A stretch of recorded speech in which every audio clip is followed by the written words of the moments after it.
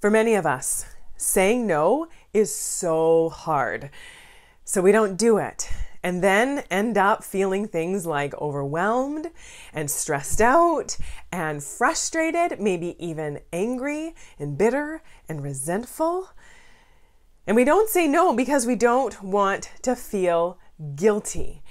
So today I am going to teach you exactly how to say no without having to feel guilty. I have also posted this step by step process on my Instagram feed and also on my Facebook page. I'm going to put the link to both in the description so you can go there, take a screenshot, or save the post for future reference if you ever want to pull it out and look at it again as a guide to do this because this process is a really powerful one and it works. If you're new here, welcome to our incredible little corner on the internet. If you haven't already, subscribe to the channel so that you can get notified when new videos come out and so that you can make sure you are participating in the amazing conversations that we are having every single week. My name is Julia Kristina, and I'm a registered clinical therapist, a researcher, a master coach, and the creator of the Breakthrough Coaching Program. I have a master's degree in counseling psychology, and I work to help heart centered go getter men and women break through the crap that is holding them back so that they can like themselves and their lives more every day. And not saying no is creating a lot of crap in our lives. We need to learn how to be responsible with our yeses and responsible with our nos because Anytime it happens, when we say yes to something, we automatically end up saying no to something else. And when we say no to something, we automatically create space to be able to say yes to something else. So, being responsible, what do you want in and for your life and being honest with that and being able to use your yes your yeses and nos to stay in alignment with those things. We want to be getting to the point where we can say yes only when we mean it and no when we need to. So often we are saying yes and not really meaning it not really being authentic with our yeses, but we're saying it because we don't want to feel certain things. And I want to talk about a few of those things that we don't want to feel, the reasons why we have a problem saying no, and why we say yes to things that we shouldn't maybe be saying yes to. And there are some good reasons for it. So giving ourselves some, cutting ourselves some slack, giving ourselves a little bit of credit, giving ourselves some understanding and, compa- and compassion because it's not always easy, especially for those of you who are empathic, um, more sensitive, more caring, compassionate people, this can be extra hard, and for these reasons. So, obviously, the first one, because you don't want to feel guilty. And why do we feel guilty? Well, because we don't want to come across as being rude or unkind. We don't want people to think that we are being rude or selfish or unkind or uncaring. We also don't want people to dislike us. We don't want to be rejected. We don't want to let people down. Another reason why we don't allow ourselves to say no is because we don't want to be judged or criticized. Obviously, that doesn't feel good if someone is thinking things like, oh my gosh, Julia's so selfish. Julia only looks out for herself. Julia doesn't think about anyone else. Julia and her boundaries. That's a real thing. It doesn't feel good to be judged or criticized. So obviously that would be something that would hold us back from saying no. The next one is that we don't, like I said, we don't want to hurt or we don't want to upset, we don't want to disappoint anyone. We want to be giving and generous and caring, but being a giving and generous and caring person doesn't mean that it's a free for all. It doesn't mean that we just give to no end. That's not possible. We don't have the capacity to do that without there being significant consequences, like things like stress and burnout and overwhelm and frustration. Generosity is not real generosity without boundaries. I want to say that again that generosity is not real generosity without boundaries. It's people pleasing, it's over functioning. It's not doing things because we choose to, because is that real generosity? If it's not doing it because we choose to, because we feel like we have to, because we feel compelled, like we will be a bad person if we don't, that's not coming from a generous heart. So, really taking a second with that one. The other reason why we don't say no is because we don't maybe want to miss out on an opportunity. And that's fair right? Especially when it comes to work especially when it comes to even you know doing things with friends. We don't want to miss out. There is a certain level of fomo there FOMO is real, or even professionally. We don't want to miss out on an opportunity because our brain starts to tell us, well, what if this is the thing that you do that gives you that big promotion or that gives you that big break that puts you on the map? And so our brain will kind of play with us and tell us, like, oh, you could just do this one more thing even though you know that your plate is full, that your plate is overflowing, that you need some space. But recognizing that these are some of the reasons why we struggle to say no. So, how do we do it? How do we say no without all that other junk that until now has been coming along for the ride? That stuff that we just talked about. And to do this, I'm going to give you a little saying that you can go through in your mind as a guide when getting ready to say no. And this is actually a section from my Speak and Feel Heard Effective and Assertive Communication crash course.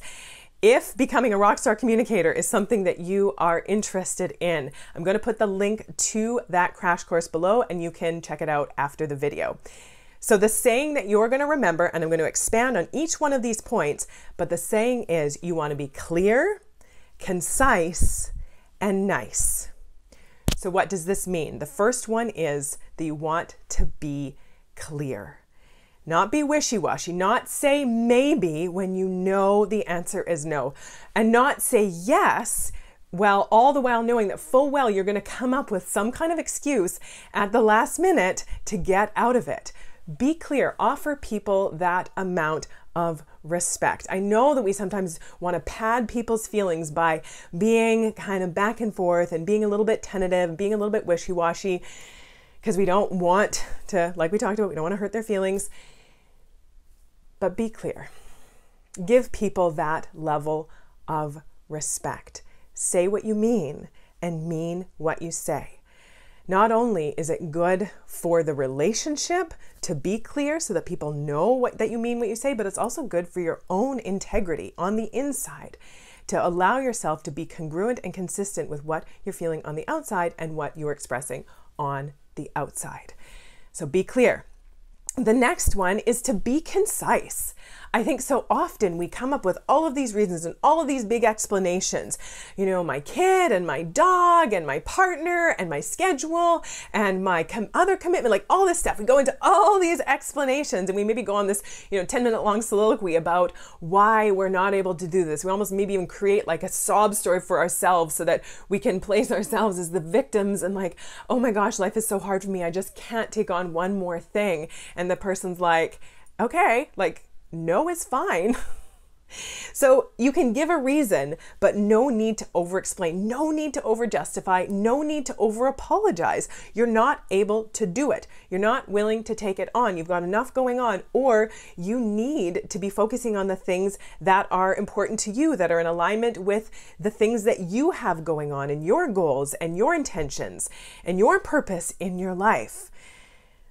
So being able to be concise, saying something like, I have another commitment.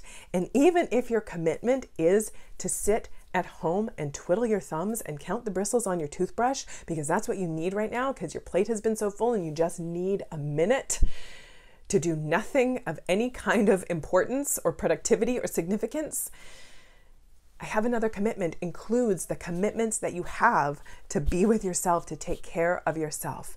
You can say something like, I've got a lot on my plate right now and I'm not able to take anything else on. No need to explain what you have on your plate. No need to go through a whole list of all the things you have to do so that the person's like, okay, okay, okay, never mind. Just be concise. You can say something like, even as simple as, as thank you, I'm not able to take that on right now. I'm not interested in participating in that. So you can give a brief reason. Now, there is a little bit of a caveat to this where we're going to be talking about when we might need to give a bigger explanation, but we'll talk about that in just a minute. So, how I've had to deal with this for my own self is I often get a lot of emails from, from people who want me to participate in different things. And some of them are really great. Some of them are things that I really want to do, and some of them aren't. They're just not in alignment with um, with my values, with my goals, with what I'm doing, or they're just not something that I actually have time for right now. Sometimes there are things that I want to do, like that FOMO thing is real, but I just can't take on something else.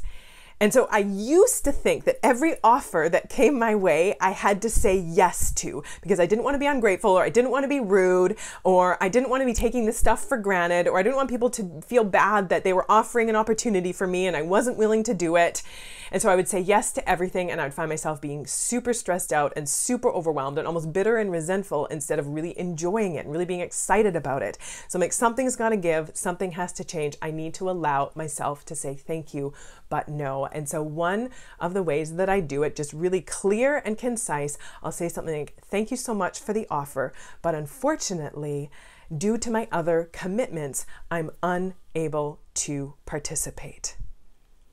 Simple as that.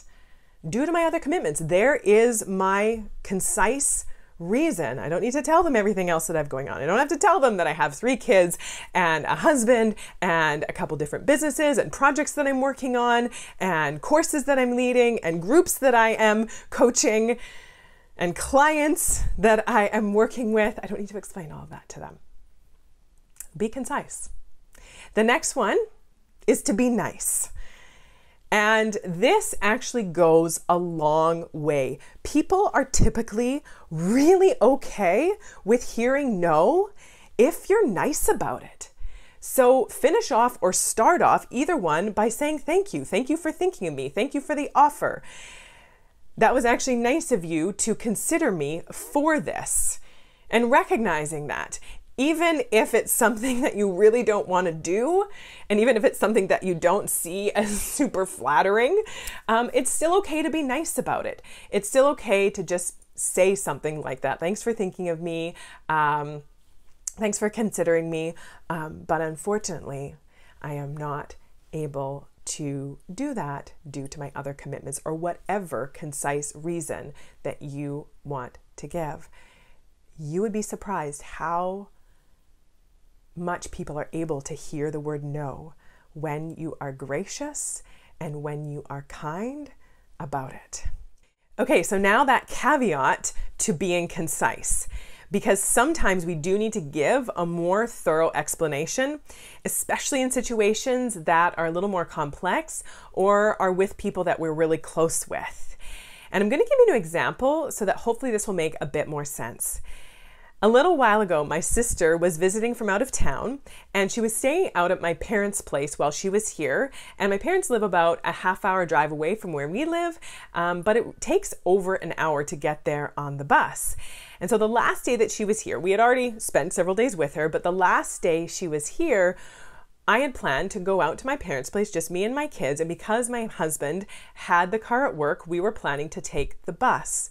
Now, the night before we were planning to go, I had had quite the night with my two small children. I don't think I hardly slept at all. And so that day, I was totally exhausted.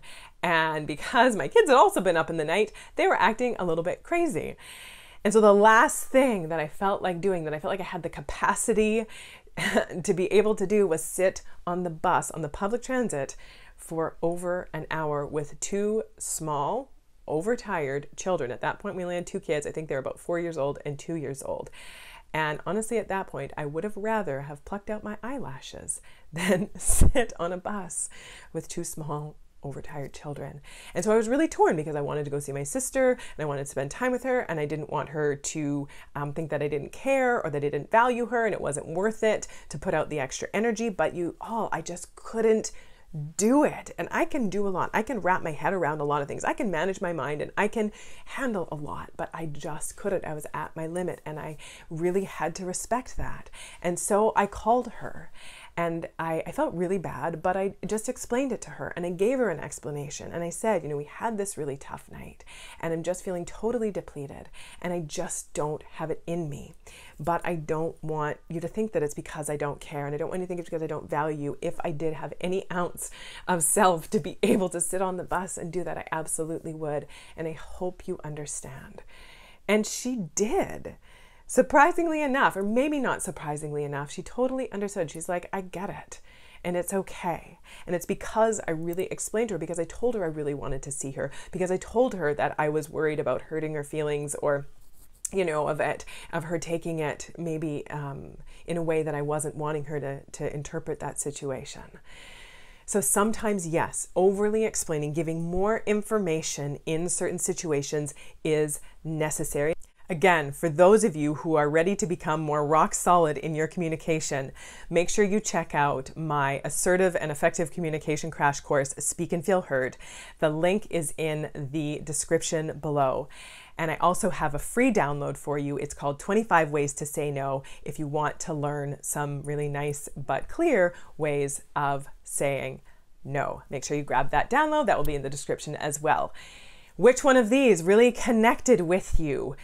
Do you feel like you have a process that you are going to go through and you are going to practice? Are you going to commit to testing this one out, to being open to trying it and seeing how it goes? Let me know in the comment section below what connected with you in this video. I would love to hear that as well. I love being able to have conversations with you all afterwards.